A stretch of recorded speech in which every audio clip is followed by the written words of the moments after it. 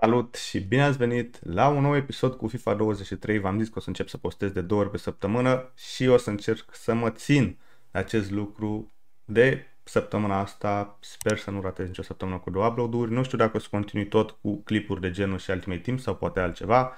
Depinde și de feedback-ul vostru la această miniserie. Vreau de astăzi să încep să simulez primul sezon în FIFA 23 la carieră din campionatele importante Anglia, Germania, Italia, Franța, Spania, plus cel mai important campionat dintre toate. Nu ai cum să nu spui că Superliga este cel mai important campionat.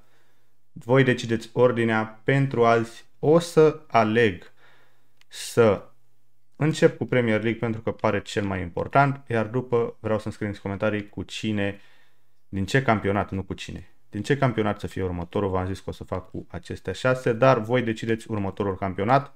Bineînțeles că eu o să aleg echipa pentru că, na, în funcție de simpatizantele mele din campionatul respectiv, pentru astăzi o să aleg Liverpool. Era interesant uh, United-ul, pentru că au o situație mai dificilă, să zicem așa, și Uh, Nottingham Forest, pentru că au făcut și alte transferuri, dar astea ar fi fost interesante la o carieră de lungă durată, nu la o simulare, părerea mea. Așa că o să aleg Liverpool, Jurgen Klopp, îmi place noua idee să-ți alegi managerii reali, sper să bage cât mai mulți posibili. Nu o să fac niciun transfer, pur și simplu intru, uh, poate aranjez puțin primul 11, depinde, ar fi indicat să fie realist, dar nu știu exact cât de realist l-are FIFA făcut. În mod normal, o să încerc să bag cea mai bună echipă la fiecare echipă cu care o simulez. Alegem aici frumos, unul ăsta e irrelevant, nu o să joc absolut nimic. La formație nu o să umblu, cel puțin nu la Liverpool. Dar uitați, nu pot joca aici cu Elliot. Uh, o să bag Henderson pentru că are cel mai mare overall și cred că contează la... Am în vedere că simulăm, contează overall iar pe bancă o să încerc să am cele mai bune rezerve. La Liverpool nu prea e cazul, dar Mă refer că apuci să-ți faci prima bancă, să zic așa. Deci o să bag aici Jota pentru că 85, toată lumea e ok din punct de vedere al poziției. Noi Sharpness, dar probabil o să facă. Așa că asta rămâne, spuneam, nu o să fac transferuri.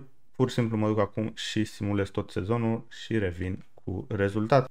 Ok, hai să vedem pe ce loc am terminat, judecând după ratingul, acum numai cu procentaj, văd că este o bară, apare cu roșu, semnul exclamării. Cred că nu ne-am descurcat foarte bine.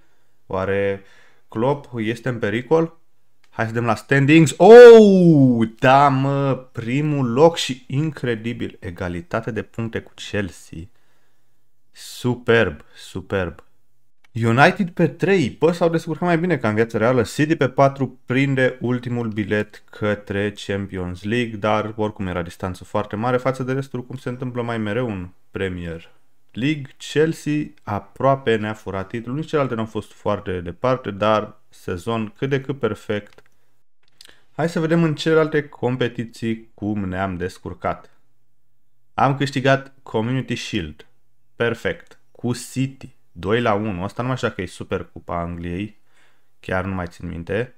Pare că așa să fie că nu pot să dau mai jos la alte stage-uri din competiție. FA Cup, una dintre cele mai importante cupe, asta te duce, dacă nu mă direct în Europa League, da, o câștigi. Și mergem mai departe. Am pierdut Carabao Cup. În semifinale 2-1 și 3-2. Cred că da, cred că 3-2.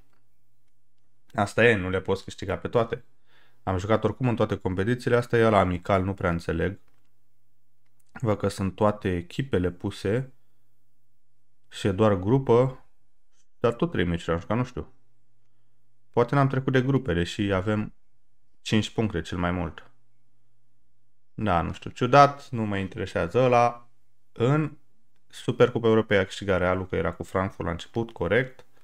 Champions League, Final Barça, finala Real Barça, 1-0 Real Madrid. Bravo Real Madrid, super. Semifinale PSG a pierdut cu Barça, Real a bătut pe Chelsea. Uh, noi cred că am pierdut fix în uh, optimi cu PSG. Da. Asta e, n-ai ce să faci, mergem mai departe.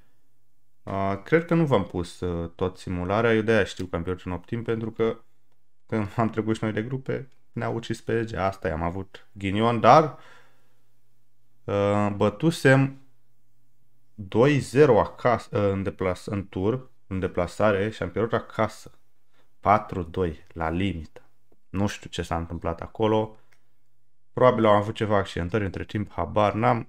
După asta e parcursul în Champions League. Mergem la Europa League unde arăt doar câștigătorii Bayern München. Deci aparent în universul FIFA, în sezonul ăsta, Bayern München a fost trimisă de Barcelona și Inter, bănuiesc, în Europa League și a câștigat Europa League.